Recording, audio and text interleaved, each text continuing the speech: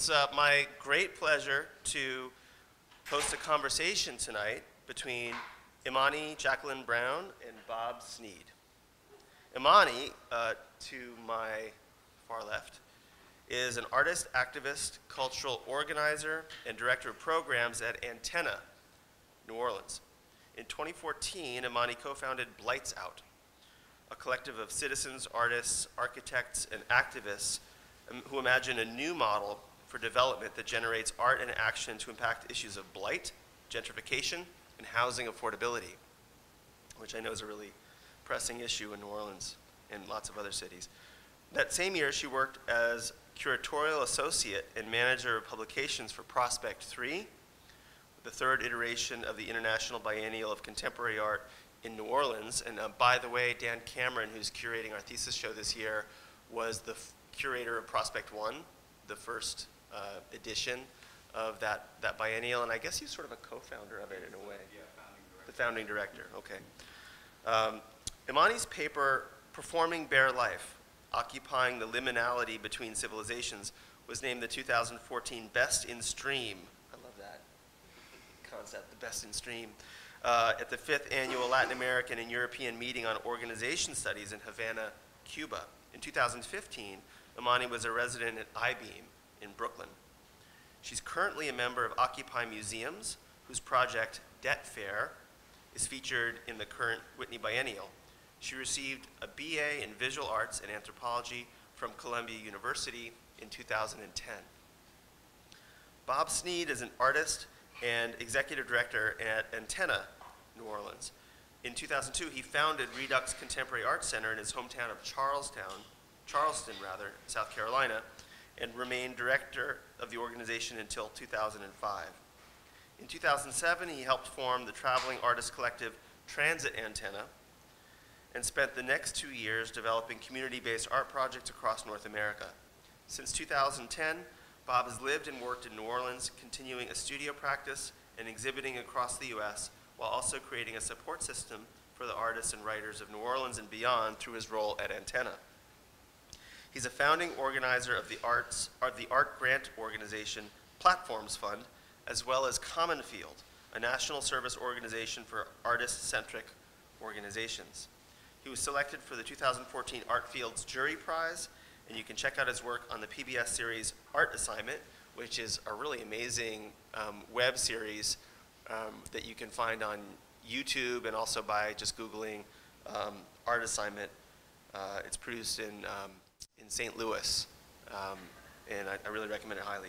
Bob received a BA in 2002 from the College of Charleston, where he graduated cum laude, and an MFA in 2007 from Yale. Please join me in welcoming Imani Brown and Bob Snead.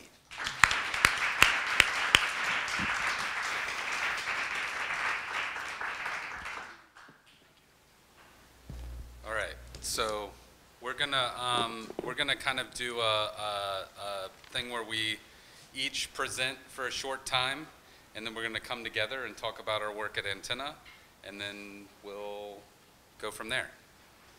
Um, so I'm gonna start out, and then Imani will jump in right behind me.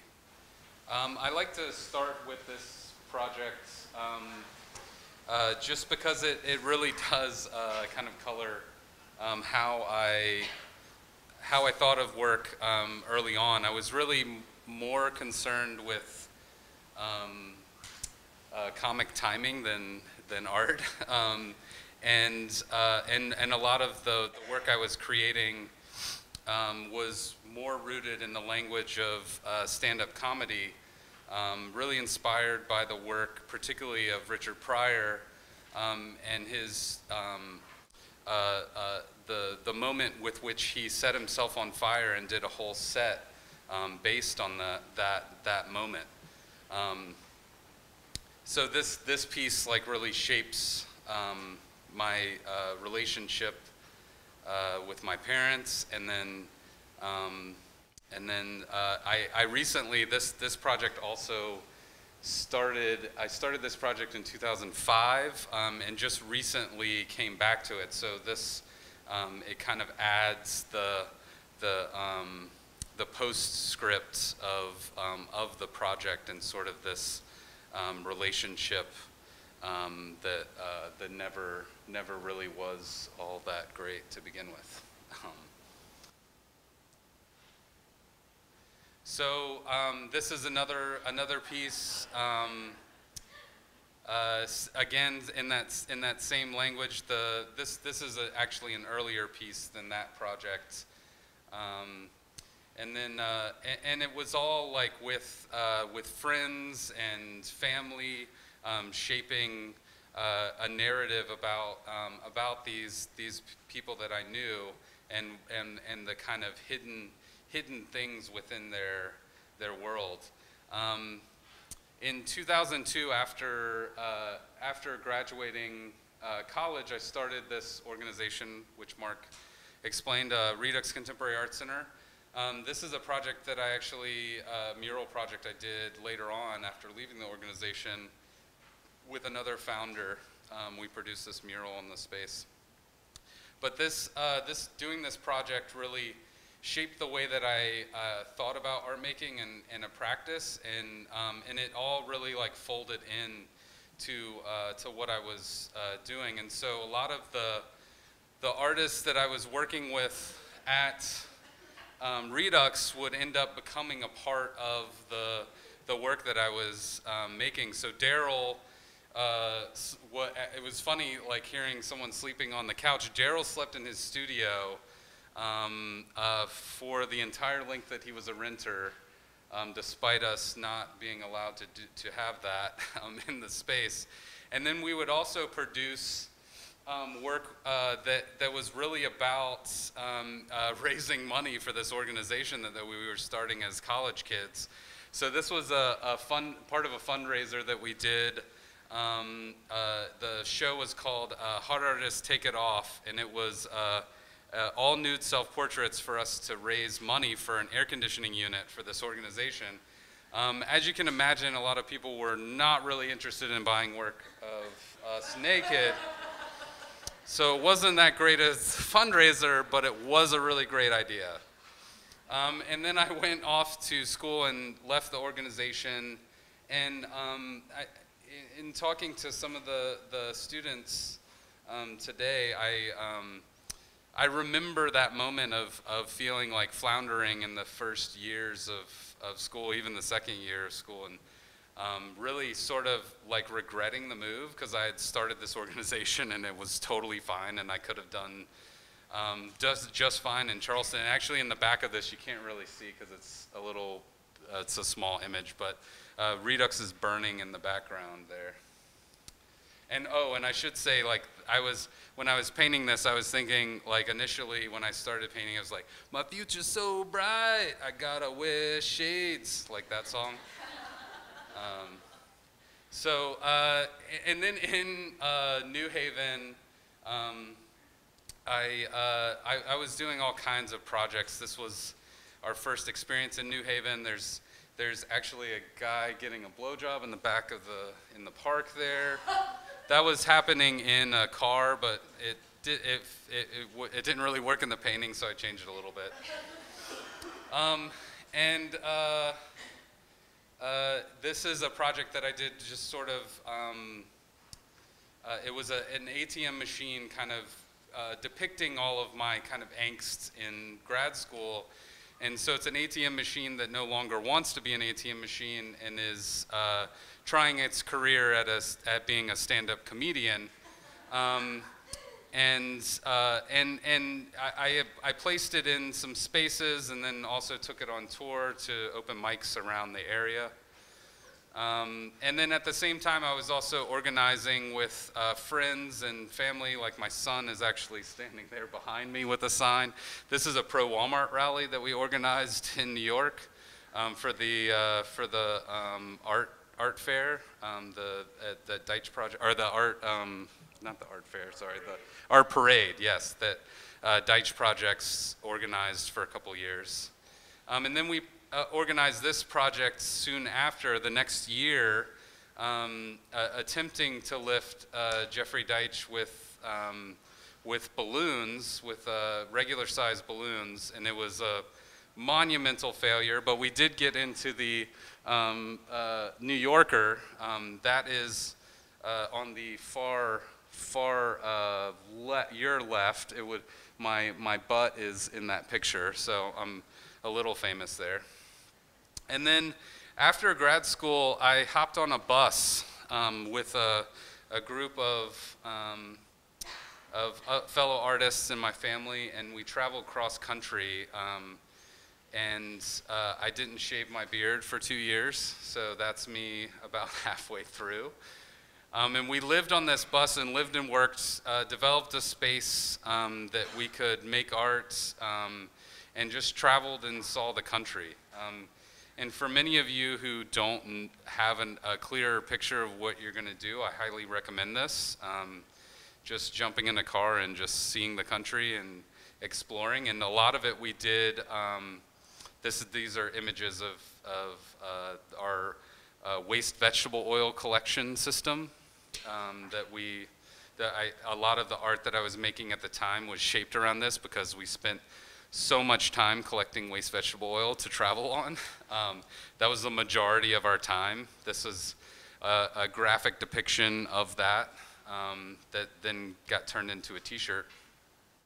And again, this is us, like, uh, or Seth and Jamie uh, that I was traveling with. Uh, this is a painting that I did um, based on uh, cleaning filters, um, which was uh, so much time. Um, and during that time, also, we created, all of us created work um, uh, every day. So this is just a sampling of, um, of this, this grid. We would all make these 8 by 8 inch pieces um, uh, based on our experiences. So this is Alex who had actually printed the, the t-shirt. Um, and I, I, didn't really like Alex all that much uh, when I first met him. Um, and, uh, and then there's a, there's a little, you, you can hardly see it on the side because um, it's painted actually just in a, in a sheen. It says, um, uh, looks kind of like the dude from Memento. Um, yeah, just a, another painting, paintings of people that we met. Um, and then we also, um, uh, did these projects uh, in, in places that were exciting to us. So this was in Salton Sea. Um, we uh, sailed the Salton Sea. It was a, it's a, um, a, a man-made lake that um, has uh, the salt content so high that they have um, mass red tides every summer um, because it's in the middle of the desert in Southern California. And so no one uses the, the, this, this massive body of water, and so we decided to sail across. It's about 15 miles across. Um, and then uh, we did this project halfway through, um, uh, trying to write all of the things we screwed up. Um, so this is sort of like a rewrite of history. Um, we had at, at, one point the uh, one of the wheels fell off of the bus and we almost died. Um, Seth and I uh, fought all the time. So this, the big picture is uh, of us hugging it out because, um, you know, you got to fix it all. And then uh, we also uh, recreated the moon landing for the 40th anniversary of the moon landing um, in Regent, North Dakota, um, out of found material. Um, did a lot of slow moonwalking. And uh, to, to fund that expedition, we did uh, all kinds of random uh, Craigslist jobs. So um, we this was 2007 to 2009. So um, we and we did have internet on the bus. Um, it was a full working house, and so uh, we would get these jobs. But almost every Craigslist job that we ever got um, turned into some other kind of job.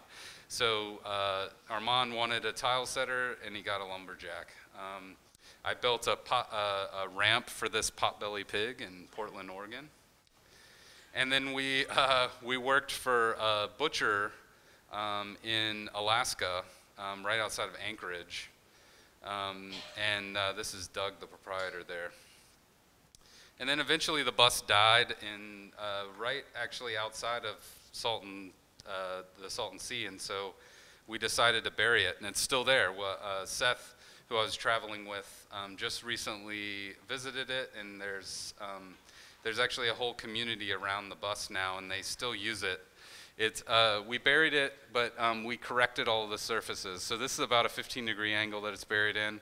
Um, and then we went in and um, corrected all the, the beds and everything so you can still use the space. And then once I uh, got off the road, I, I had that sort of moment where I was floundering a little bit. So, and it was like right, right in the thick of the recession. And so I started this random project um, creating uh, wallets that were recession proof. So they had a, uh, a dollar or a twenty dollar bill stitched inside that you couldn't remove. Um, and then uh, the outsides were uh, depictions of people's stories. So uh, Josh was a, a wealth management um, uh, uh, advisor who had lost his job, and then uh, Kenneth was this father of a, of, of a kid who had cystic fibrosis, and he'd always work on muscle cars. So I, I kind of um, translated, I, I did a big open call for stories and then translated their stories on these surfaces. And then uh, moved to New Orleans, um, and uh, this is just a random one-off project, um, uh, posing as a spaceman needing money in the middle of the night. And uh, I, I ended up creating this project because we really crash landed in New Orleans. We had no plan. And so uh, this is uh, developed from all of the uh, moving boxes of our move. And um, it was uh, depicting a crash that I'd witnessed um, when I was touring our first apartment, um, kind of recreating this, this, this, uh, this wreck out of all of the cardboard. And then that project grew into this, this project of recreating all of the products of a Family Dollar. It, well, the project's called Family Dollar General Tree, and it's taking all of the cardboard waste from dollar stores and recreating a dollar store. Um, at that time, I was also working for Lin Emery, who's this uh, kinetic artist in New Orleans. Um, and uh, she's now 90 and still in the studio every day. It's quite inspiring. And also teaching um, at that moment. Um, and then that's when I got involved uh, uh, with uh, Antenna with their annual event Drawathon, which we'll talk about a little more in, in a bit.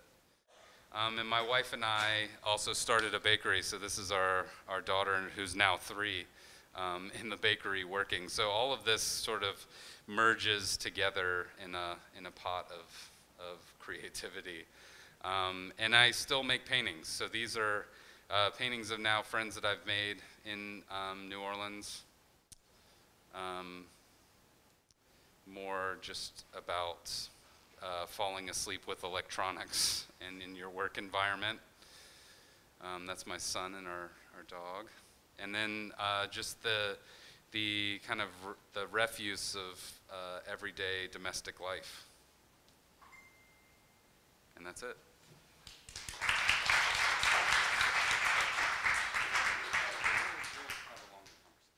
So it's kind of funny going after Bob, who's like a real artist or something. Um, Cause I am, yeah, I am like struggling with the idea of calling myself an artist, which is why I call myself a cultural organizer. Um, I used to make art when I was uh, growing up, uh, all through high school and in college. I used to make stuff. I used to do a lot of charcoal drawing and some uh, sculpture, found objects and stuff, and I loved it. Uh, but I never ever thought that I was going to like become an artist, uh, at least be an artist professionally or be at all involved in the art world. I didn't even really know growing up in New Orleans that like what the art world was or like what kind of jobs you would even get in said world. Um, I was always an activist growing up, and uh, I was involved in the anti-Iraq war movement and president of the Green Society at school and a bunch of stuff like that. And so I went to college. I, I came up here, um, graduated the year after Hurricane Katrina, uh, and uh, came up to New, to New York, graduated from high school. Came up to New York, went to Columbia, and thought I was probably going to go into poli sci or something like that because it seemed like the thing to do. And I took one class and was like, oh no, like this is terrible. Um, I can't be in this world. So I ended up falling into anthropology. And the whole while I was taking art classes, you know, just for the hell of it, I, you know, started dabbling in um, in uh, print photography and film photography and uh, printmaking and just like taking all kinds of classes. And I realized one day, oh, well, I actually have the makings of uh, a minor. I might as well just do that. And I like, you know, bonded with my sculpture professor. He, he ended up recommending that I get an internship at the Sculpture Center in Long Island City, and I ended up doing that. And uh, then uh, getting a job at Judd Foundation, uh, which is the legacy foundation for the artist Donald Judd, um, that has uh, that manages his historic home in in Soho. Uh, so have no idea really when this tra like uh, trajectory changed. But then, you know, in 2011, uh, one year after I graduated from college and was working in in uh, Soho at Judd for the last year, Occupy Wall Street happened. And I um, decided to nix a lot of the images of Occupy Wall Street because they're all kind of weird and people know about that anyway, right? Uh, it was a movement that um, launched in 2011. Um, it was a response to a lot of international movements everywhere from Chile to Spain uh, to the UK and all of these places that were really, um, uh, you know, set on fire by uh, the Arab Spring, um, which started when Mohamed Bouazizi, um, a fruit vendor in Tunisia, decided that um, he had had enough of uh, the, the Fran French-supported uh, dictatorship of Ben Ali. So Occupy Wall Street was this incredible movement. Um, thousands upon thousands of people came to uh, Zuccotti Park, which is a private public uh, space in um, in the financial district downtown and uh, decided to try to figure out a new way of kind of doing society. You know, decided that, well, in this country uh, where we don't have basic things like healthcare, uh, like housing, like food, uh, like education, childcare, et cetera, well, we can come together and we can provide all of those, uh, all, of, all of those resources for ourselves. And so um, a ton of different working groups were born. Um, people created a, a, kitchen and served three delicious meals a day. Uh, people started a people's library. There was a medical center. There was uh, a barber shop. Uh, and there was free childcare. And it brought together a ton of folk who were really, you know, um, trying to shed some of the social baggage that we all have. You know, like we all come from a variety of backgrounds. Uh, we have a variety of privileges and disadvantages, um, and a lot of um, strain and stress and stigmas and, and prejudices. And so of course, you know, we don't, you don't lose all of that when you come into a movement space. In fact, a lot of it gets exacerbated. So there was a lot to work out. Um, and it was an opportunity for a lot of creativity. And a lot of the people who were in that space were creatives, whether they define themselves as artists or not. Uh, so this is a piece by Rachel Schragis, who is a New York-based artist. And uh, she was mapping something called the Declaration of Occupy Wall Street. And what we all decided, there was like a several week long, like intense collective process to come up with um, our declaration, but it is um, essentially a breakdown of what we see as being all of the fundamental um, social, ecological, um, and political crises that are bogging down our society that triggered the 2008 financial collapse that are leading to uh, oppression of people of color, of um, queer people, of indigenous people here and around, around the world. Um, and uh, all of these things are interconnected through capitalism. So that was the sort of central organizing force.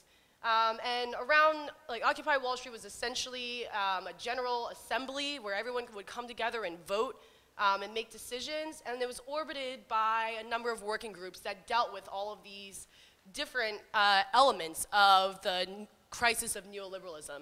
And one of these groups was Arts and Culture Working Group. And uh, so I was really involved in, in arts and culture. And uh, we did a lot of things, every, everything from uh, creating massive puppets uh, for marches, uh, creating signage, posters, banners, organizing space uh, to um, start talking about the way that our cultural institutions and artists themselves are also complicit in perpetuating global inequities. Uh, and a group came out of arts and culture called Occupy Museums.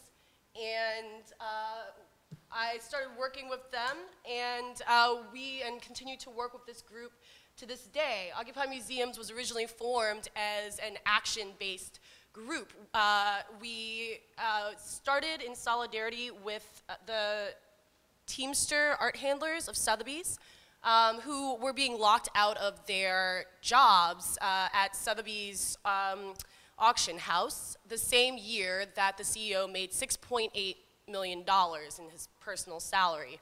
Um, Sotheby's decided that they no longer wanted to offer benefits to their art handlers who had been working there for, um, for decades, some of them, uh, and decided to break the union. So we came out um, in protest and we started to do a lot of actions uninvited at various cultural institutions, uh, like the MoMA, uh, like Frieze Art Fair when they came to New York from the UK and decided to not use unionized uh, labor for the construction of their tent. Um, and we're critiquing not just uh, labor practices, but also the entire system of commodified art and culture. Really saying that our crisis of capitalism is not just a political crisis, it's not just an economic crisis, it's a cultural crisis. And we have to address that. We need to change our culture and change the way that our institutions um, essentially extract from our cultures and, and, and sell that as, as saleable, commodifiable objects, asset classes for speculation on the market.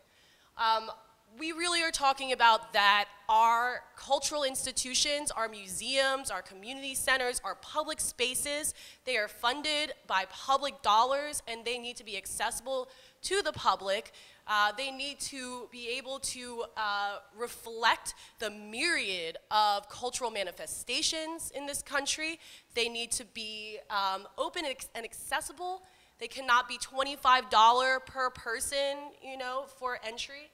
And so we really started to explore, all right, well, why is it that our culture is so corroded? Why is it so exclusive?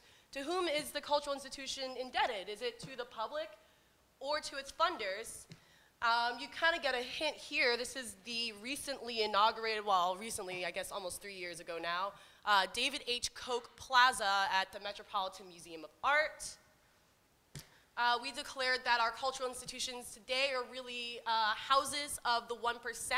They are uh, not public institutions. They are rather uh, seats where the, where the global elite come and park their money in the form of art assets for the sake of the appreciation of, val of their value um, and the hoarding of uh, our wealth, both monetary wealth and cultural wealth and social wealth.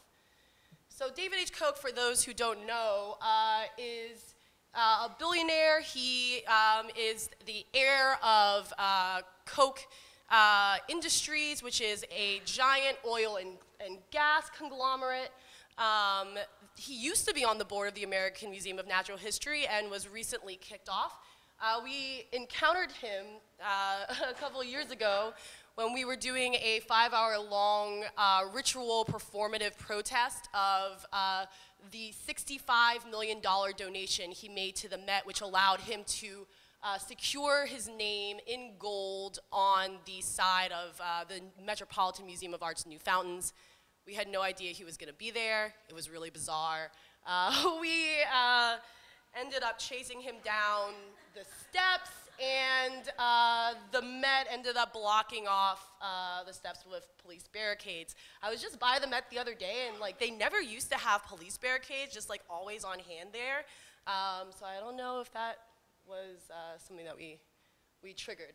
Uh, but so we had a five hour long, like sort of performative cleansing of the plaza where we called, you know, for the, the cleansing of the stench of, of pollution from this temple of art and culture. We called for the repatriation of stolen ritual objects that are um, being hoarded within the Metropolitan Museum. Um, and we did a collaboration with the Illuminator, um, calling on the connection between Koch, his name, and uh, the dirty oil industry that is sabotaging our ecology.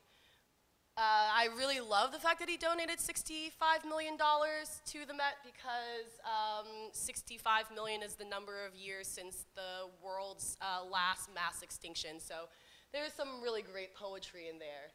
Um, so this is back to like one of the first projects we ever did. As I mentioned, uh, we started off as an action group, and then one day uh, we got an invitation from Momenta Art, which was a small um, emerging artist gallery in Bushwick um, that had been there, had been established for a couple of decades, and uh, is now gone, unfortunately.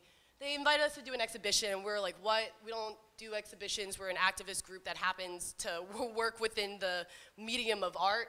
Um, but we were like, all right, well, it sounds like an interesting opportunity. What, what would happen? All right, well, let's look at Momenta Art and see if there's anything that seems weird that maybe we want to call out. They were a pretty dope organization. They actually were pretty solid.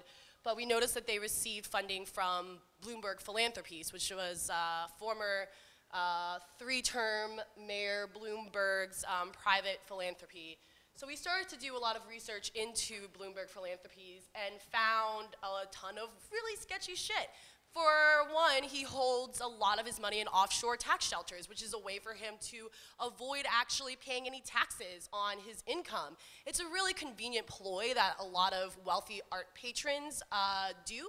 They'll, you know, make a, a nice, friendly, generous donation to charities, um, which allows them to avoid paying taxes and is a really sweet PR opportunity that, you know, allows them to not have to budget for PR from their corporate fund.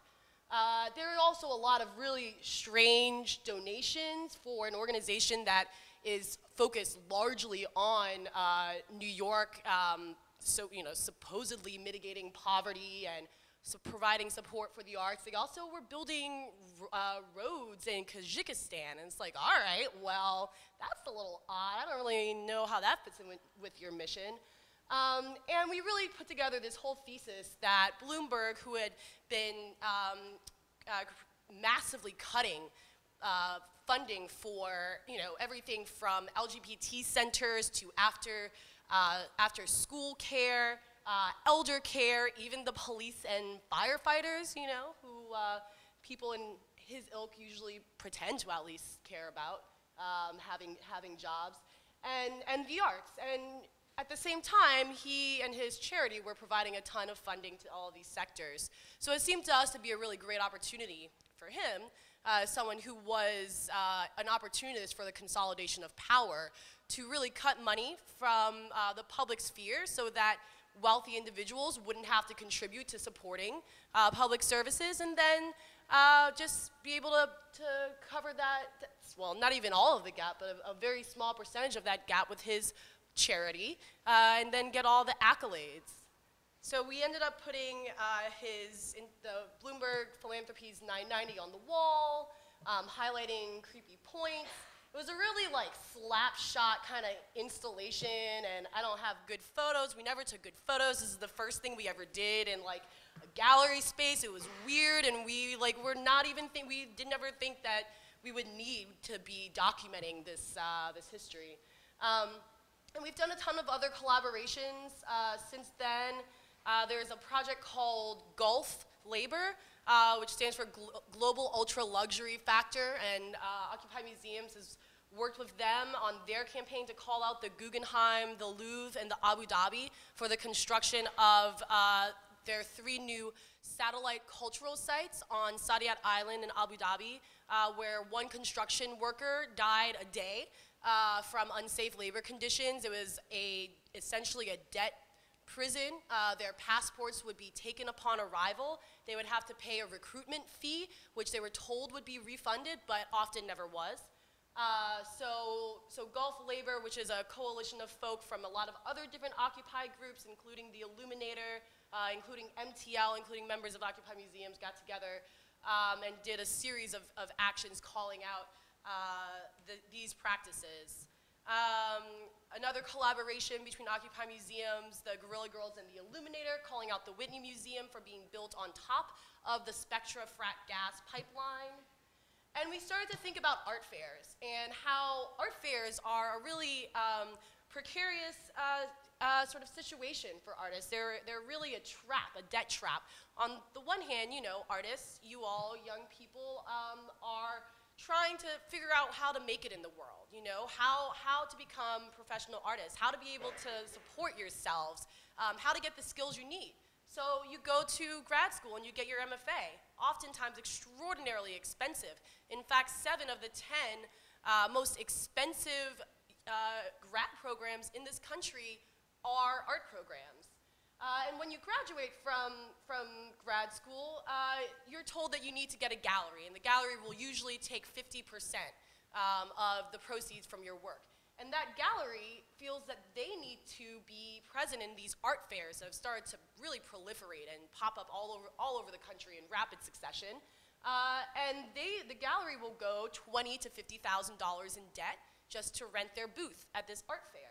Uh, and artists will then have to make work that is guaranteed to sell because the gallery is depending on them to make that investment back. And so there starts to be a really um, destructive cycle whereby artists have to constantly regurgitate the same type of easily saleable, commodifiable work oriented toward the uh, audience of uh, these art fairs who are very you know, high wealth individuals. Uh, and you start to see these trends, we'll call them, that take over the art world where people are just creating the same type thing. Um, and so we wanted to really start uh, thinking, we were inspired a lot by an organization called Strike Debt and their project, The Rolling Jubilee, which sought to, uh, sought to find a way to collectively um, bail out the public out of debt. And we started to think about how it might work um, within an art context. And the project has evolved a lot uh, since then, but essentially it is an exhibition uh, strategy as well as uh, an organizing platform uh, that groups artists together and their work together, not according to aesthetic commonalities, um, but according to their economic realities. Um, and we learn about these economic realities through a pretty intense questionnaire that asks about uh, the artist's debt and how their economic reality actually affects their artistic practice. Um, whether they went into debt in order to create their work, whether their art is um, visually affected by the, um, by the stress or anxiety or guilt that their, that, uh, their debt creates, whether they feel they have a sense of alienation um, to which financial institutions are these artists in debt? Um, the idea was originally to embed debt fair somehow within um, an actual art fair, and we did these models and prototypes for it. Uh, and Jennie Ash um, and uh, Michael I can't remember his last name, uh, from Art League of Houston saw this, uh, this project, this proposal, which was also at Momenta Art, um, and decided that they wanted to give it a shot uh, for us to install it at Art League Houston. This is one of the detail of the model. And so we did an open call for Houston-based artists and got 58 respondents. Um, and so we created uh, these four different bundles on the wall. Um, the slash um, is a bundle of artists who we, we asked them to use words to uh, describe what emotions their debt elicits. And overwhelmingly, people said stress, anxiety, and fear. So that's a bundle of artists um, who use those words to describe their debt. Uh, the triangle are artists who have gallery representation. It was the smallest bundle. The large rectangle are all artists uh, who are in debt to um, and is grouped by the financial institutions uh, to whom they are in debt. And then the circle here are all artists who say that art is their career, yet work multiple precarious jobs in order to make ends meet. Some details. Um, and then uh, most recently, we really uh, bizarrely and incredibly got uh, an invitation from the Whitney Biennial to produce this project, which was unexpected and a really a, a huge honor, and also a really incredible platform um, for this issue to be deeply embedded in a luxury institution of contemporary art. For this iteration, we actually framed the project around BlackRock Inc., which is the world's largest asset management corporation. Um, they have $1 trillion in assets um, that on hand, and they have $15 trillion in assets under management. So that's all of the investments that they actually, all of the asset-backed securities that they are holding. 15 trillion is larger than the US economy. So BlackRock is essentially the largest economic superpower in the world. Um, it is run by Larry Fink, um, who also sits on the board of, among many other institutions, uh, President Trump's Strategic and Policy Forum, the Museum of Modern Art, New York University, the Council on Foreign Relations, uh, as well as a pro austerity ad hoc coalition that lobbies Congress called Fix the Debt. They call for the elimination of Social Security um, and other forms of so called welfare. Um, he's also a member of Kappa Beta Phi, which is a secretive Wall Street fraternity filled with all the bigwigs that you'll ever hear of. Um, and so BlackRock is one of the majority owners of um, many more than this, but on the wall here, uh, three different categories of institutions to whom the 30 artists on the wall are in debt. And we chose these categories so that we could really show three of the anchors of the debt crisis uh, in America today. Focusing on America because, you know, the Whitney is, the biennial is the largest showcase, um, or the, the showcase of, you know, what is American art today? Well, American art and uh, American artists are in debt. Uh, so on the far left are uh, 10 artists who are in debt to uh, either First Bank of Puerto Rico, Banco Popular, um, or are directly affected by the Puerto Rican debt crisis, um, which has been really perpetrated by the um, very unequal and predatory um, uh, uh, so-called protectory system that we have in place with Puerto Rico. They are effectively a colony of the United States and do not have full voting rights. Um, the second, the middle bundle is Navient Inc., which is uh, the new um, lending arm of, of Sallie Mae, uh, so the largest student loan lender in the country. And then on the far right is JP Morgan Chase, um, so credit card debt and, and mortgage debt.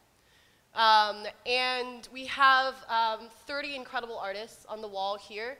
Um, these works were chosen first because of their um, uh, debt, their, the commonalities um, they had in, in, in their economic realities. So the fact that they were in debt to these um, four organizations. And then we were looking to really choose a selection of artists who represented the, the diversity of, um, of, artists, of artists' experiences. So really recognizing that while debt is something that provokes um, intense feelings of shame and alienation that really divides people. It makes people feel like they have to be silenced and that they can't communicate about it. Um, in reality, debt is something that connects all of us.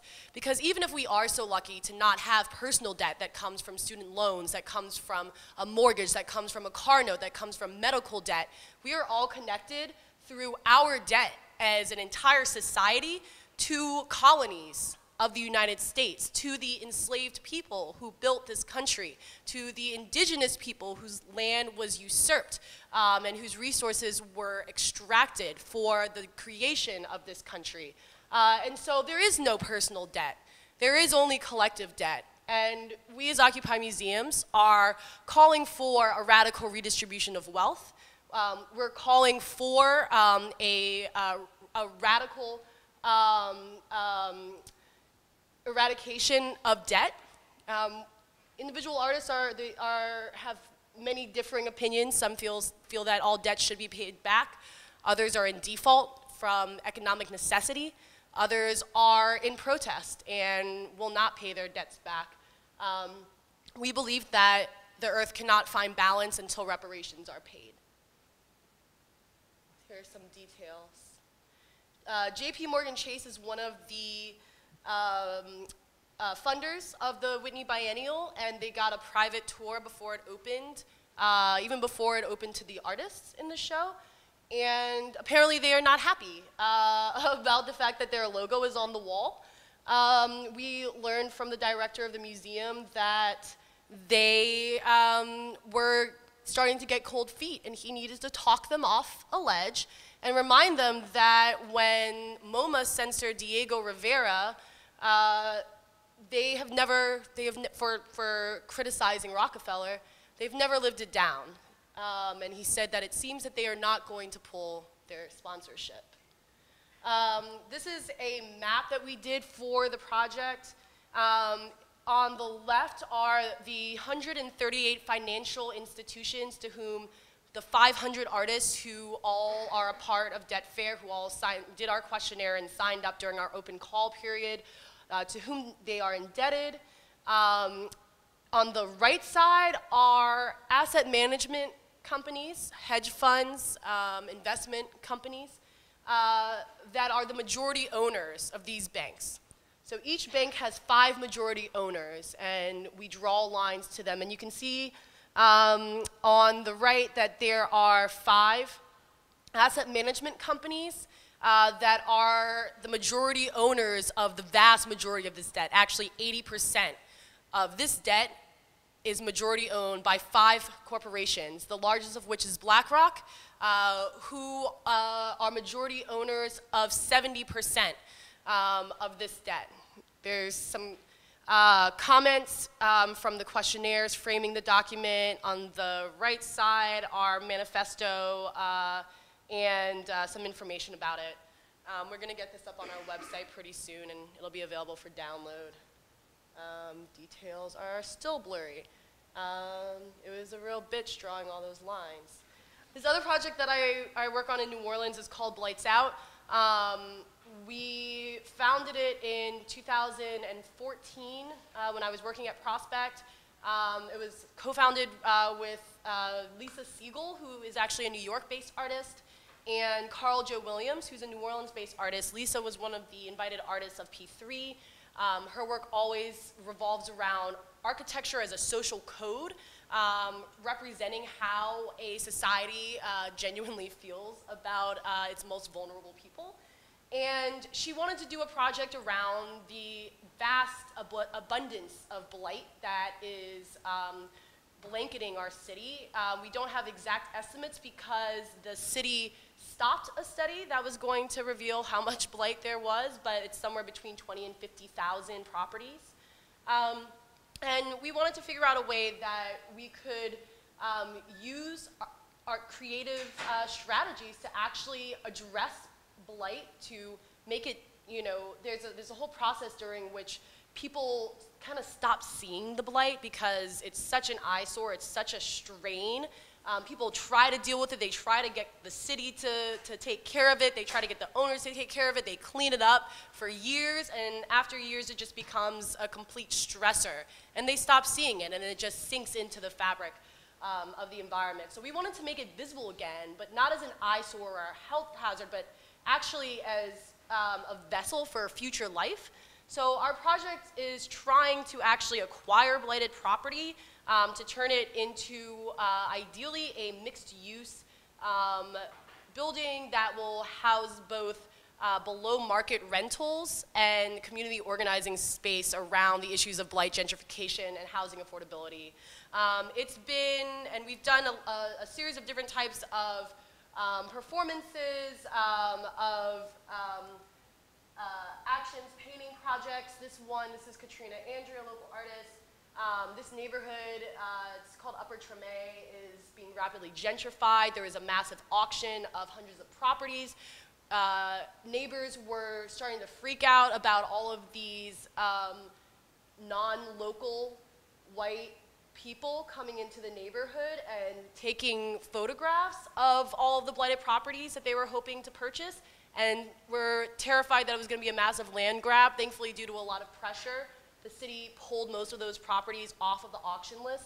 But we wanted to sort of do um, the inverse of that, and we brought a bunch of local black artists uh, into the neighborhood with easels to set up to paint portraits of the blighted properties, using it as an opportunity for uh, conversation with residents about what they were going through and about our project and our hopes for, for the future. Um, a lot of those uh, pieces came, were, were further worked on and um, were displayed at an exhibition at Antenna um, where we both work. Um, it was curated by Carl Joe.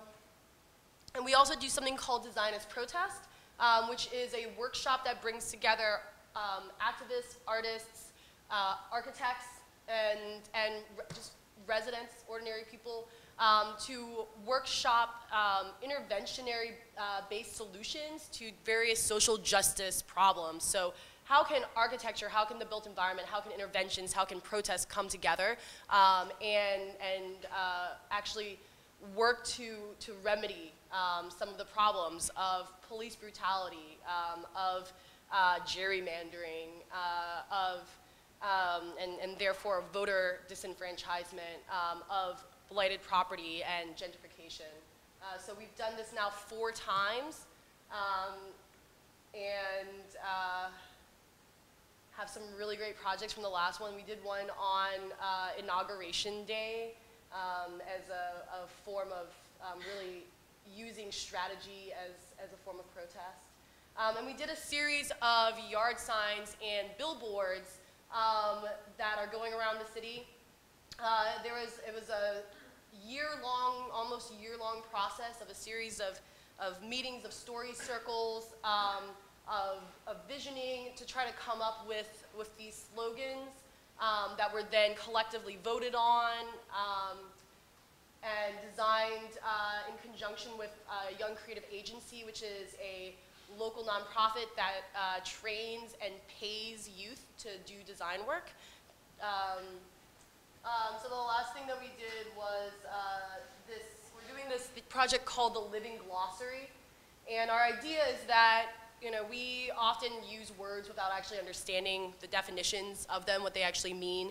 Uh, words like gentrification, development, community, um, and we wanted to really start to parse through uh, these development terms uh, to start with their official definition and context, um, to expand it through historical grounding, and to really flesh it out and enliven them uh, through oral histories with uh, residents who have actually had to deal with that term, that concept in real life, and how it actually manifests. So, auction is the first poster we did. We started, um, and they're all going to be included in a People's Development Toolkit that we're working on um, that will culminate the project.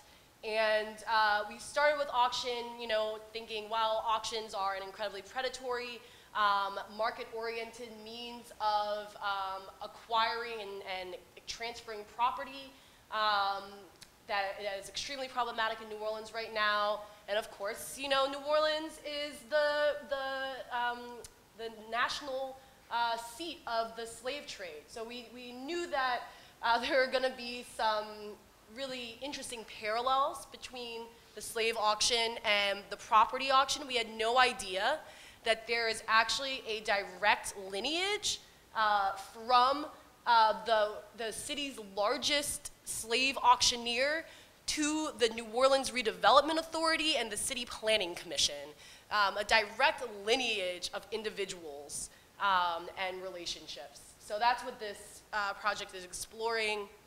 The other side is a scan of a newspaper from 1832.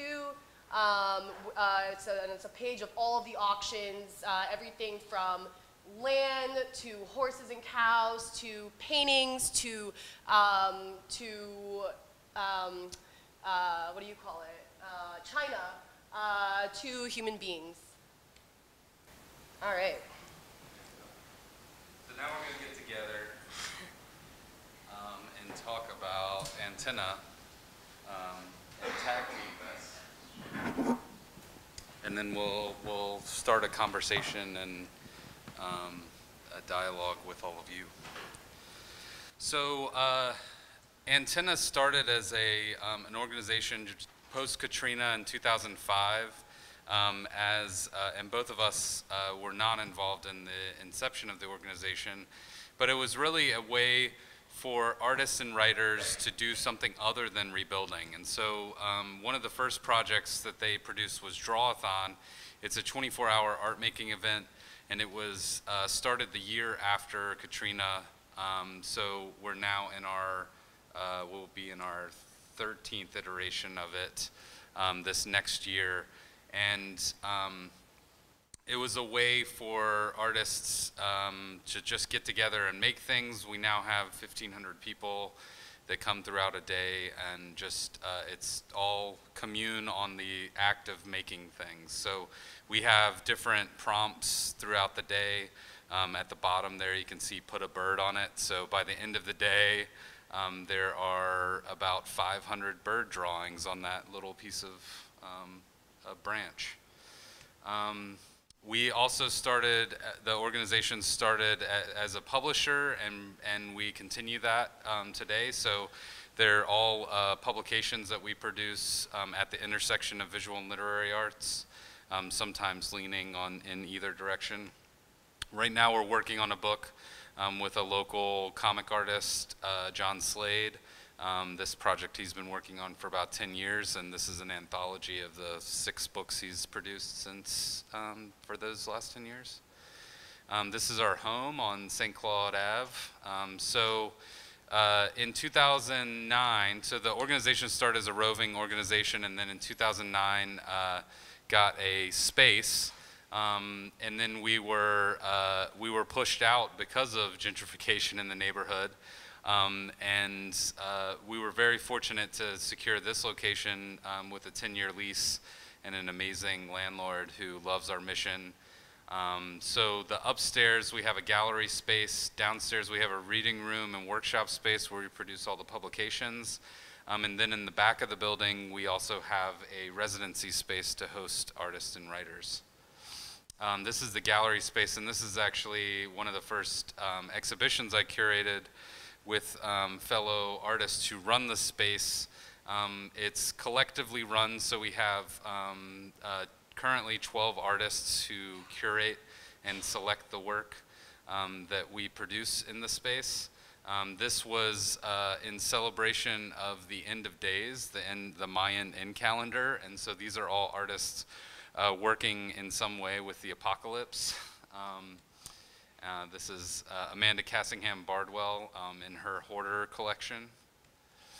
Um, and then this is a, uh, a, selection from our annual open call, um, which uh, we do have um, some ephemera for that. Um, we do an international, national open call for artists projects. Um, this is Yoshie Sakai. She was uh, selected in 2015. Um, and this has been Fox McCord's work. He's one of our collective members. I just threw that in there because I like that piece.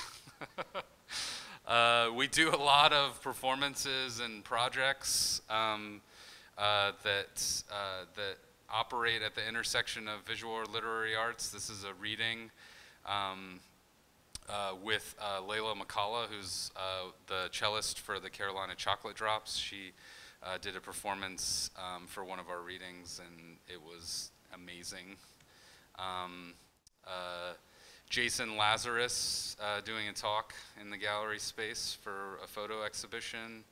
Um, we also seek out other spaces in the community. So um, this was an artist talk with uh, Doreen Garner, who uh, showed with us last year and was a selection for the open call and um, uh, this was at the uh, New Orleans Pharmacy Museum. And then uh, this is in a former garage, um, reading uh, with our uh, literary arm, uh, room 220. And then we've also been heavily involved in the development of Common Field. Um, we hosted in 2013 the, the annual convening, which at the time was called Hand and Glove. It's now called the Common Field Convening. So I would check out uh, on commonfield.org, um, the website. Um, there are over 500 organizations from all over the country um, that are artist run or artist centric.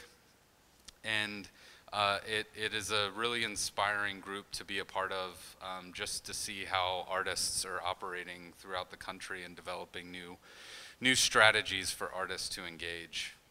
Um, and then we're also an incubator, um, and that's how we, um, we uh, first met Imani. Um, we, uh, we started with this project. This is from uh, a, an organization called Big Class, um, and they uh, were very interested in encouraging uh, students in New Orleans uh, to uh, get excited about creative writing. Uh, very much inspired by um, 826, um, and now they're in 826 development, um, and they'll be opening their haunting supply company um, here uh, in the next year. Um, if you're not familiar with 826, you can go to uh, the Superhero Supply Center here in Brooklyn. It's really worth checking out. Okay, so Platforms is uh, one of the um, member organizations of the Andy Warhol Foundation Regranting Program, which is a great way for large philanthropies to recognize that they are not the best people to make it, to be making funding decisions for organizations across the country that they have no connection with. So they started to work uh, in partnership with organizations like Antenna, um, as well as 15 uh, or so other cities, um, to give us money this year, $60,000 that we then uh, redistribute to artists for grants of up to $5,000. So this is a project, um, NoCaz, um, that's one of the first funded projects. Um, they're the Comic and Zine Festival. Um, here, go- uh, this is. This is Alleged Lesbian Activities, which uh, is a uh, play that traces back, uh, that works with the Dyke Bar History Project in New Orleans. Um, New Orleans is an incredible um, queer mecca, uh, yet due to a number of factors, all of the dyke bars in the city have closed. Uh, there are zero uh, left, and so they were going back, um, talking with um, members of the community to like trace back people's stories and the history of what happened to them, and turned it into a really tour de force play. And they, they produced a, um, a podcast that's really incredible with interviews of people who experienced the Dyke Bars, and um, it's so worth checking out. So it's called um, Alleged Lesbian Alleged Activities. Lesbian Activities. So check that out. Okay, sculpture. We're just gonna go. That's a skate park that had a skatable sculpture. Um, and then Imani's project with Blights Out, they were also a funded um, project within uh, within the Platforms Fund, and that's that's how we built built our relationship with this amazing woman. So we do Signals, which is a uh, so-called li- live arts magazine, which is a spread of six to eight artists, writers, scientists, scholars, activists, uh, etc., who we bring together around a common theme um, for 10-minute, super quick presentations of their work and showing how, uh, as, you know, we usually think that we operate in these silos, but in actuality, our work is a lot more interconnected than we would ever dream. Um, here's one of the events. Um, this is uh, um, Richard McMahon. yeah, this is the this is the work of Richard McMahon, who works in miniature um, from one of our exhibitions. Um, he was uh, one of the speakers at one of the signals. More signals, more. Um, we have a residency program. yeah, we're, we're, we're giving you all the things, so just know that. Um, so, uh, so we started this program with uh, Tavares Strachan and his project uh, for Prospect 3.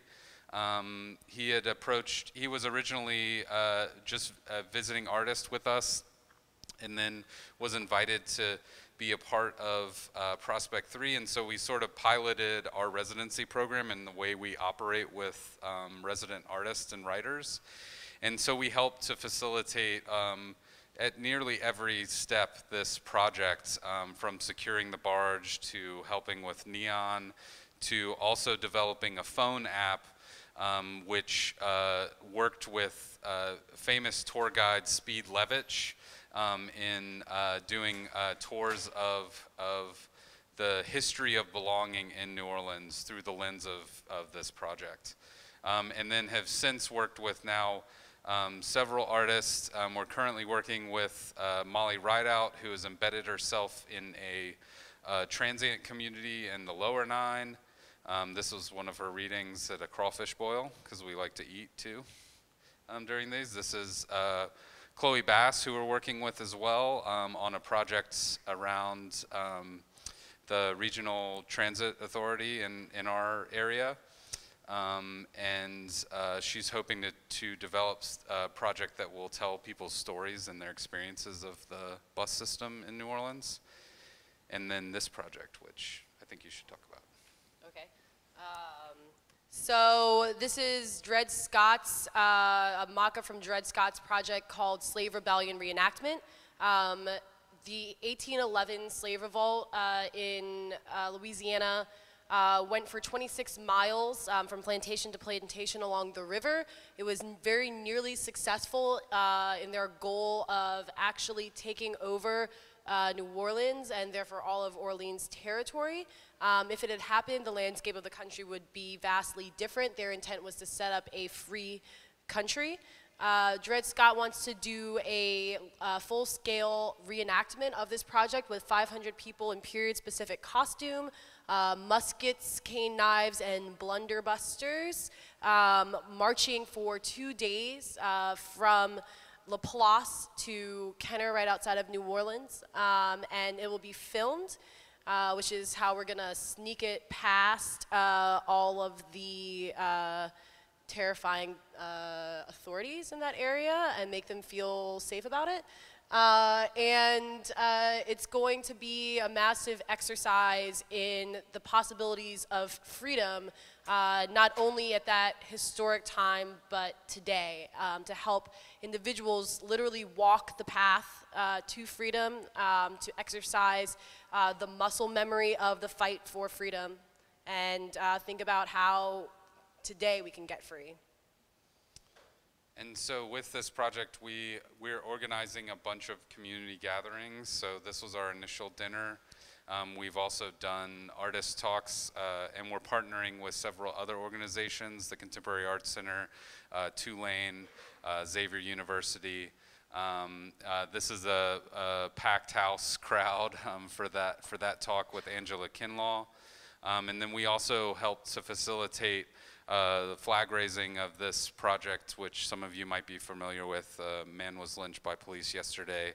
Um, uh, that uh, that was shown for a week in New Orleans on the CAC. And then uh, this is a, a kind of mock-up now of the of what the costuming is going to look like for this project. We're hoping that it'll launch in uh, the beginning of next year is the the tentative date. And then uh, these projects, which are forthcoming.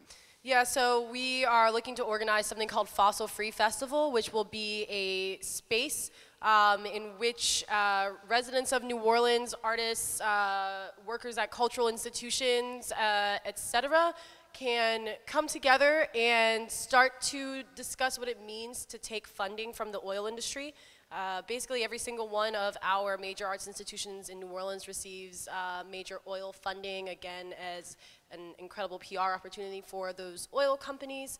Um, but we're not going to go into it with that attitude. We want to just create a space for conversation um, because uh, so many of uh, New Orleans and Louisiana residents um, are actually working in or have family who work in the oil industry. It's a very tricky subject, and even uh, environmental organizers uh, feel uncomfortable um, broaching the subject. So we want to bring together um, members of groups such as uh, Not an Alternative, who have a natural history museum project and successfully got Koch off the board of the American Museum of Natural History with the group Liberate Tate, who I highly recommend you check out um, and have a space for workshops for musical performances and um, open dialogue about complicity in, in uh, climate change via accepting funds. And then we're, we're just now in the infancy of uh, thinking about an, an uh, alternative to education, um, particularly uh, the MFA model um, with, a, with a new program. So we went, we, we attended this um, past year the Alternative Art School um, fair, which uh, happened at Pioneer Works. I hope that they do it again.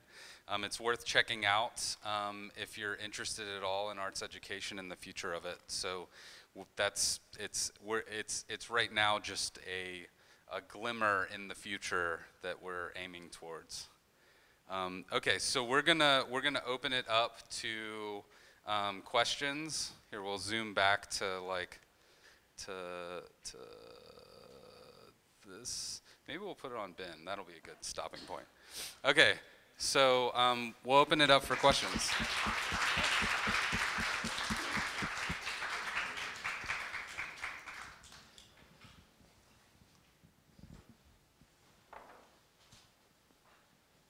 Sorry, we, th- we threw a lot at you, but please feel free to ask questions.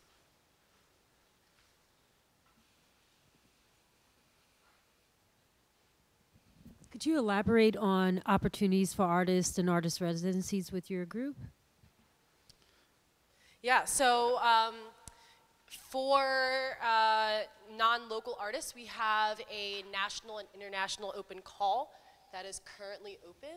Um, so y'all should grab these cards. Um, and the open call provides a solo exhibition in our space.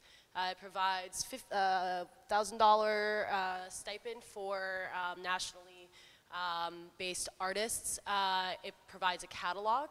Um, yeah. Yeah, so you can produce an, uh, a, an artist book as a part of the project. Um, you get travel and um, and Accommodations. accommodations and uh, shipping for your work, which is often uh, not provided with many open call opportunities. Um, and as an artist-run organization, we recognize that that's uh, that's uh, that often makes or breaks an opportunity. So that was really important for us. Um, we also we do have a residency program. It's uh, it's built though for um, for artists who are working uh, outside of school at least five years. So um, look to that in five years. Um, we also though uh, we have an open invite that we offer to artists um, or writers coming through the city. Um, you can come and stay with us uh, for free for up to five days um, in our residency space. Uh, so you can make your own residency in New Orleans and come and crash with us.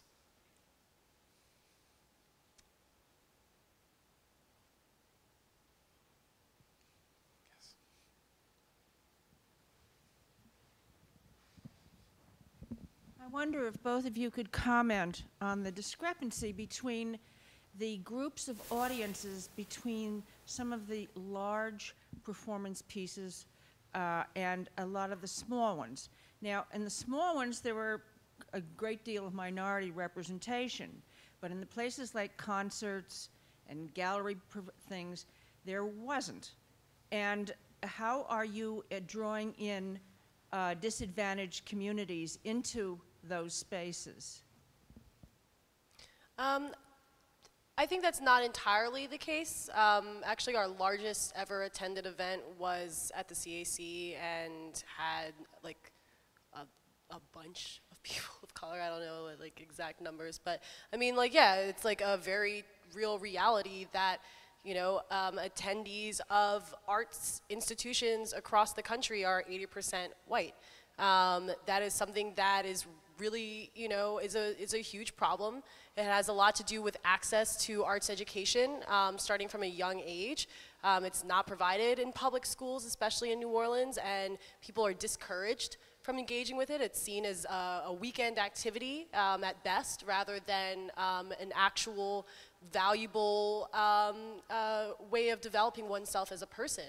Um, beyond that, arts institutions as a whole, um, like we, you know, when I grew up in New Orleans, we used to go to plantations uh, for field trips, but we wouldn't really go to arts museums. And so children are not, um, are not taught to feel comfortable in those spaces.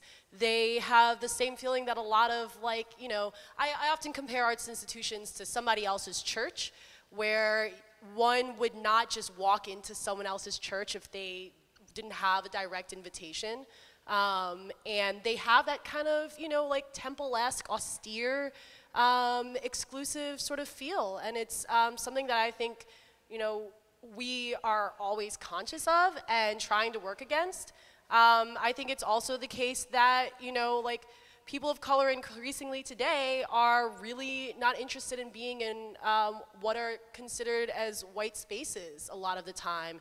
And uh, there, there is a, a lot of sort of like self-siloing that is, that is happening. And I think that that's something that, you know, um, yeah, that sometimes people need to, um, yeah, feel the need to be with people who look like them.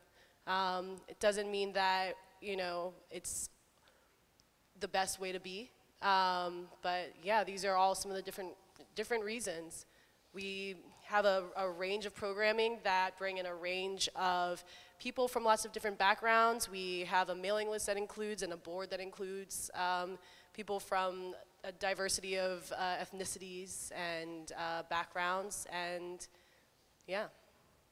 I mean, with our with the, one of our most recent programs, Signals, um, the live action art magazine that we were talking about, we were really conscious of this issue of uh, of people being invited into a space. This this idea of like offering offering the space up versus invite, and um, and actually involving peop- uh, uh, people from all kinds of different um, academic pursuits or um, uh, uh, jobs or like working in science or uh, you know focused on on wildlife like those those people bringing all of those kind of audiences together it brings uh, it it roots the organization um, and allows the audience to feel ownership in a way that we can't get in any other kind of programming um, also, uh, having some sort of education component. So,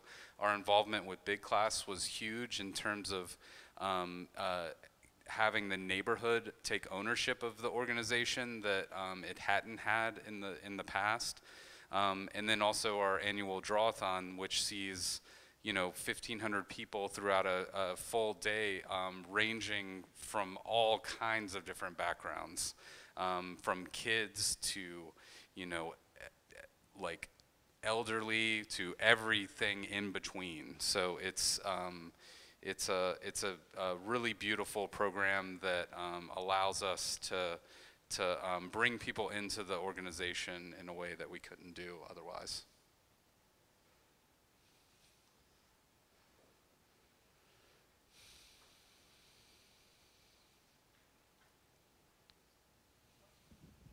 So you're next, Josh. So um, thanks so much. I really enjoyed both your presentations and learning about everything you do. Um, just FYI, you know, this is probably number 22 or something like that of weekly talks. Yeah. And, um, you know, I'm sure you guys are all feeling slightly burnt at this point. but we're going to charge, ex- uh, charge through. Um, Yeah. So I got two questions, and one is kind of um, gentle, and the other one's going to be a little bit more challenging for Imani. Okay. Um, so, so we have a we have a workshop that Matthew Deleget um, teaches, a professional development development workshop called Artist as Catalyst, Yeah. and um, Sharon Louden, who recently you know published her the book she edited called Artist as Culture Producer, is joining our faculty, and I'm a big believer in what one might consider um, innovative or alternative career paths for artists, where instead of, you know, renting a studio and and making your work and hoping that Larry Gagosian taps you on the shoulder and takes care of everything, um, that you go out and, and try to, you know, help produce the art world you want to participate in. You both seem like great models for that. And so my, my first question is really just about you.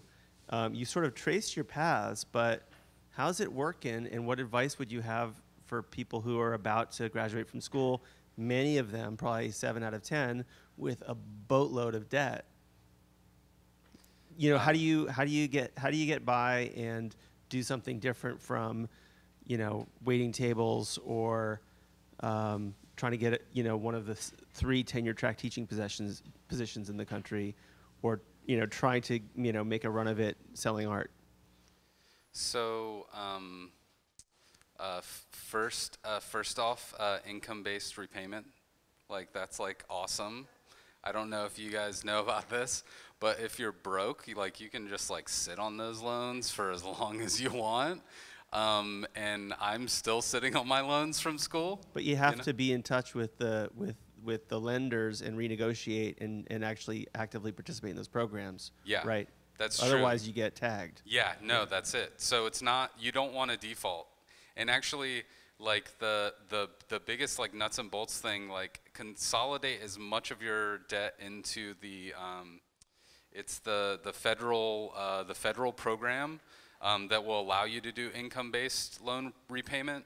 Um, that's like the number one thing you should do if, if you have any private debt. Like try and get it consolidated into the direct loan system, because um, if if all things go well, that you can sit on that that debt for a while, and then it will eventually be forgiven if you work in certain fields. So, for instance, for us, like it may i don't if if we're lucky um, if like a certain administration doesn't take it away from us um, we uh, like working in the nonprofit world and that includes like teaching and all of those kind of things you you can have that debt forgiven eventually um, if you're poor and broke and um, and struggling for that long which most artists are. Even even successful artists that you think are like like um, uh, you know blue chip artists a lot of them are struggling. So you should just know that that's like a thing that is in your future as an artist i don't want to sugarcoat that um, I, and I've also um, uh, I've done a lot of different hustles. So um, uh, right out of uh, off of the bus. So we were very fortunate um, in that we um, were able to secure the bus. It was like um, on uh, like we got on Craigslist. It was like three thousand dollars. We could kind of pull that together, and then we built this this space and environment, and um, we ran it on waste vegetable oil, which is free. So it was often like cheaper for us to move around the country than it was to stay put. And once we once we hit off the road, oh, I think we unplugged. Once we, yeah, there we go. So once we got off the road, um, I we were like so broke. So it was like we were, you know, um, washing our clothes in the bathtub broke, like, and drying them outside. Like that's how broke we were. And so I started doing this hustle on Craigslist, um, doing. Uh, Ivy League remodeling is what I called it, because like you could hire Ivy Leaguer to like fix your shit, and so I did that hustle just to be able to like keep doing all of the other stuff I was doing.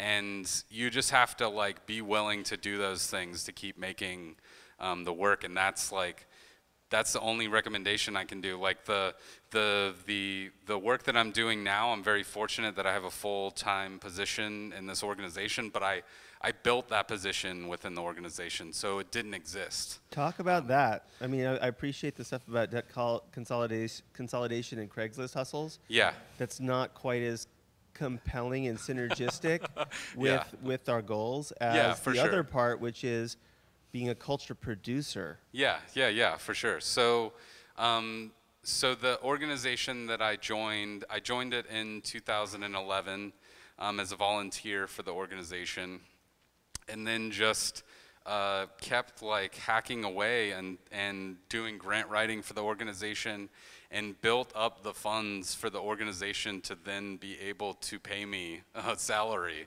So it was. Um, it was fortunate that uh the organization already had a track record when I joined it. So um, often when you're building a nonprofit organization, um, you're in this sort of catch-22 where when you're starting, um, you you have no money and you need the money from grant from granting organizations or from donors, and they want you to first prove you know that you have some sort of track record.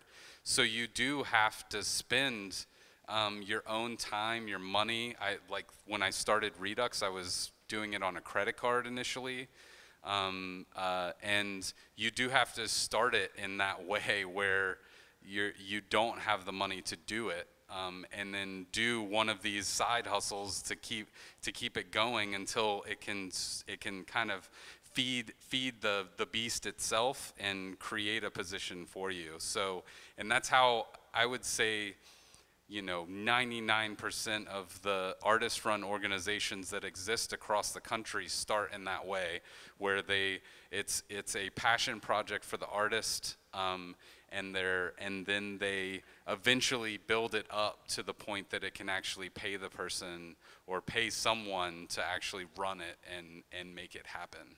So, Yeah, that's how Blights Out basically started. I mean, like I've worked as an arts um, administrator since getting out of out of school, um, and you know, and it's been it's not it's sometimes you're you're paid a decent you know wage, sometimes you're not, um, sometimes it's temp, and you know you, everyone gets laid off unexpectedly, um, and I freelanced for a year, which was actually a really great um, opportunity for me to um, like develop a lot of skills um, to develop my design skills. I had done public the two catalogs for Prospect, and so I started to get other catalog gigs and um, doing some like design work and artist assistant work with uh, Jackie Sumell, um, who does work around the prison industrial complex. Uh, and then I was doing Blights Out as yeah as a passion project, and we were able to start getting some grants. Like uh, this is before I worked for Antenna, but we got the platforms grant and that allowed us to pay some artists. And then we got a couple more grants and that allowed us to pay artists. And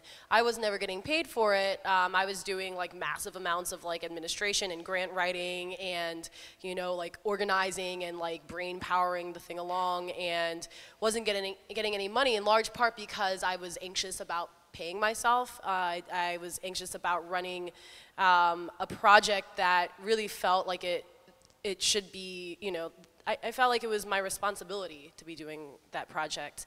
Um, and eventually, Bob and Antenna was our fiscal sponsor, said, um, if someone doesn't get paid to do this admin work, like this shit is not gonna actually happen. And so it's like, okay, yeah, that's like um, an awakening moment, but it's also like I've come to realize that my labor is valuable um, and that there is nothing shameful about receiving compensation for good work that you're doing just because it is, you know, there, there, you know, I, and the work that I'm doing is more in the vein of mutual aid. It's, it's not charity. I'm not some wealthy person who has the labor to, to give in that way. Um, and really recognizing that a lot of there, there's so much money, you know, um, so so much money in philanthropies that are, is being given out to, um, you know, to various artists, and that it's really great when some of that money can go to a project that is uh, dealing with housing, which is, you know, a really severe human need. Um, so I started to feel actually really good about taking philanthropist money and, and funneling it toward um, some of the gaps that are formed in, uh, like, you know, when housing housing organizations have very little money and uh, they don't have you know money for advertising right and for like you know messaging. And so to be able to actually like take that money and, and pay myself and pay designers to like do the campaign signs and the billboards et cetera um, you know actually seemed to make sense to me. Um, I think also just in, in uh, thinking about uh, Imani's trajectory, uh, we we were working with uh, Blights Out, and then uh, like I, I recognized how important that project is, and we built a position for her. Um, but that was all based on her relationship to our organization, and often um, you you should you sh if you're aiming to, to to develop a project or you have an idea of something that you want to develop into a nonprofit or a not nonprofit, which is like a whole other world um, and is a large discussion that we have at Common Field, you, um, it's best to partner with or, or to seek out um, mentorship with another organization that um, is working in that world in some way.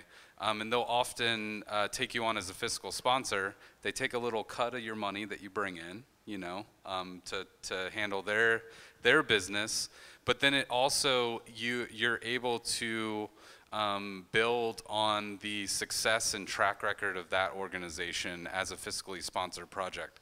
Now there are some there's some larger institutions. There's like Fractured Atlas, for instance, that will do fiscal sponsorship for you. But that relationship is, I think, not as beneficial as actually getting fiscal sponsorship from a smaller nonprofit that is closer to the people that you would want to work with. That's great advice. Um, I know I'm taking a lot of airtime, but I, so now I have my um, devil's advocate question for Imani. I asked Yeah. this with real respect, but I think it has to be asked. Um, for Occupy Museum's participation in the Whitney Biennial after projecting like 1% on the Guggenheim and your like really critical take on museums, how can you sell out like that? Well, yeah, no, I mean, it's a fair question. I, this project in particular was designed to be embedded in a luxury art institution. That was the point of it from its inception. Um, we would never display art object, or sorry, like protest objects in a museum. I think that the display of protest objects, the display of um, literal activism as art in a museum is grotesque. Um, this is a project where we wanted to actually, like I said, it started as a proposal for an actual art fair, um, where a gallery within an art fair would decide to um, actually remove the front of their of their drywall and embed the the work of the so-called dark matter artists, as Greg Sholette calls the the 99% of artists who's uh, who create all of the, the highly marketable 1% work and whose work will often never be shown in such a context and be able to actually peel the wall down once that gallery had made back their, their ceiling um, to actually remove that wall and then have that art be revealed for the remainder of that fair. Um, and that opportunity just never came around, you know, and we always like thought of that as just like we, we you know, we thought it would be a really incredible sort of um, way of actually visualizing what this luxury art world is built on.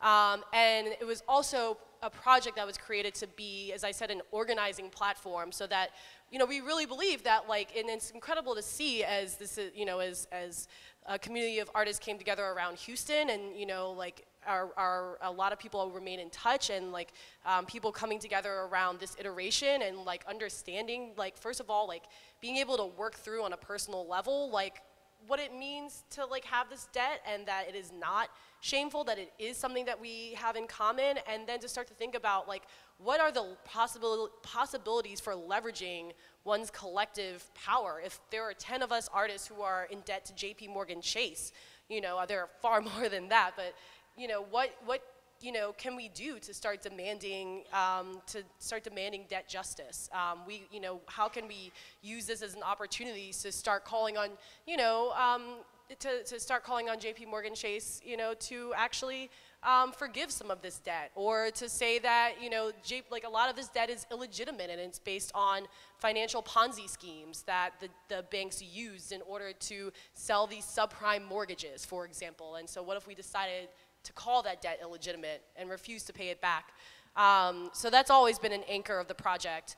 Um, and with the Whitney Biennial, you know, it was a weird thing when we found out that they wanted to include this project in it. And we thought, well, what better opportunity to actually realize it as it's always been intended, to be embedded in one of the most luxury art institutions in the world. Um, it's a museum where uh, the first 100 of every uh, of uh, the first 100 admissions to the museum every day um, are just going to pay off the interest on the loans that they took out to build their new building. There is no reason to build that new building. It's part of the trend in the art world now of going into debt um, and wasting an extravagant amount of resources to participate in this real estate trend, also because a lot of their board members are in real estate, and it's a benefit to them. Um, and so we really did want to make this statement in that museum. Um, and we think that, you know, it's, it's important. We've always, we've always felt that it's important to be both outside of museums and calling on them uninvited, as we had an action a few weeks ago at the MoMA calling on MoMA to drop Larry Fink from the board. Um, we believe it's important to be outside museums, like kind of clamoring from the outside, but that there are also a lot of arts workers who are uncomfortable with the way things are and they want to see things change and to be working inside that and be using the museum as the public space that it really should be and as the public platform for innovative, creative, you know, um, proposals for a different way of, of working and a different way of living. Um, I- think it's also important to look to the work of, as I mentioned, uh, Not an Alternative, um, who have the Natural History Museum project. They created a fake museum uh, so that that museum could actually become a member of the AAM, which is the American Association of Museums, which is the largest, you know, like professional uh, uh, community of, of um, museum professionals in the country. And they all come together, they have these big conventions. And when they started um, going to these AAM conventions and meetings, they realized that a lot of museum directors across the country are very uncomfortable with the influence that the oil industry and other, um, you know, uh, disreputable interests actually have on affecting the programming and the exhibitions and the narratives about climate change and other issues in museums and wanted to see these people off the board.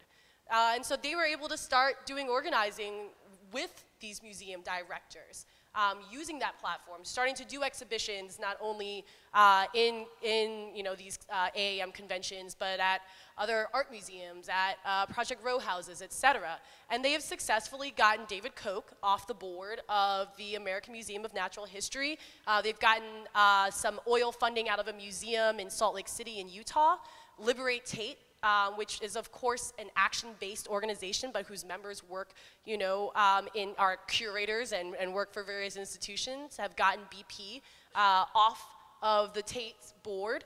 Um, Occupy Museums uh, participated in a collective action at the Louvre during the COP climate actions. We actually just recently found out that apparently at some point they dropped Eni off the board. Eni is a French oil company. So there are so many tactics that need to be used and brought together. We can't just work along one sort of straight and narrow path. We have to use a multiplicity of tactics to deal with this, like, you know, this beast because I, you know, I don't know what the, like, what, where, you know, where that linchpin is gonna, is gonna be. I don't know, I don't know what is gonna be the straw that breaks the camel's back. So I think it's important that we, that we work from all sides.